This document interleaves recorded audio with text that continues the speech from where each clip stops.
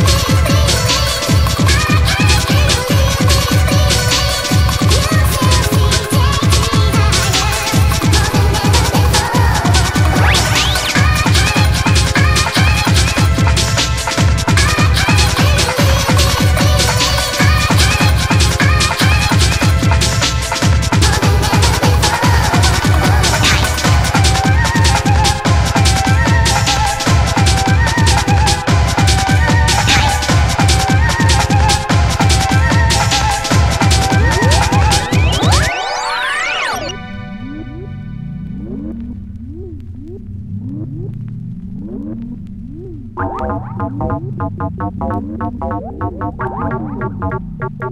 you.